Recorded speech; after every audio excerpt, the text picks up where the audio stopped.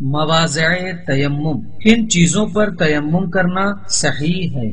تیمم خاک، ریت، روڑی، پختہ مٹی، مثلا اینٹ وغیرہ، چونے کے پتھر، سنگ مرمر اور دوسرے تمام پتھروں پر صحیح ہے۔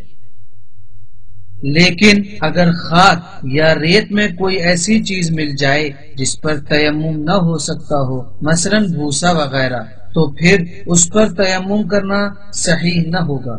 البتہ اگر وہ اتنی کم مقدار میں ہو کے حساب میں نہ لایا جائے تو ایسی خاک یا ریت پر تیمم صحیح ہے۔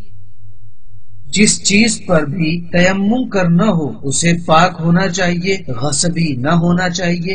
اور اگر پیشانی اور ہتھیلی کی پشت کی تھوڑی مقدار بھی مسا کرنے سے رہ جائے تو تیمم باطل ہے۔ مثلا انگلیوں میں سے کسی ایک کا مسا نہ ہونا تیمم کو باطل کر دیتا ہے۔ لہذا ضروری ہے کہ تیمم کرتے وقت انگوٹھی کو انگلی سے نکال دیں۔ اور اگر پیشانی انگلیوں یا ہتھیلیوں میں کوئی رکاوٹ ہو، مثلا کوئی چیز اس سے چپکی ہوئی ہو، تو تیمم سے پہلے اسے دور کر دینا چاہیے۔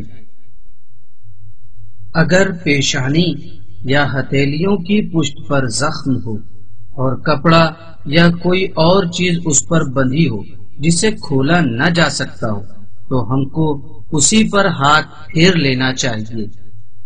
اسی طرح اگر ہتھیلیوں کی پشت زخمی ہو اور اس پر بندھی ہوئی پٹی وغیرہ کھولی نہ جا سکتی ہو، تو ہتھیلیوں کو اسی پٹی یا کپڑے کے ساتھ پیشانی اور ہتھیلیوں کی پشت پر پھیر لینا چاہیے۔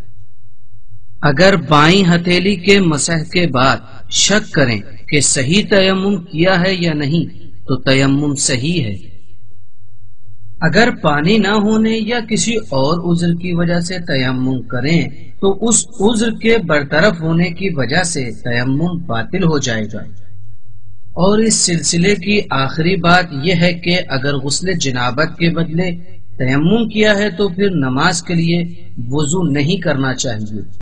نماز